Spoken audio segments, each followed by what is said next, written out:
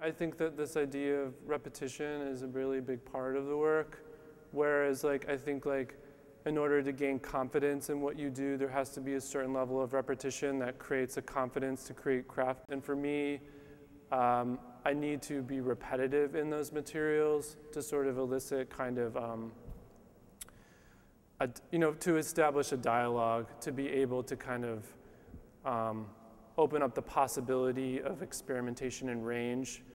When I first started making the ceramic works, I started making them really because I felt a sort of anxiety in my studio about this criteria, and I was like, went to a, I would finish my MFA, and I was like, I'm gonna take a ceramics class and not tell anyone in the room I'm an artist, because I need to sort of just like feel like I can like fail and like not be judged about it, and like and at the beginning, people were like, when I started making things, they were like pulling me aside, being like, "Are you?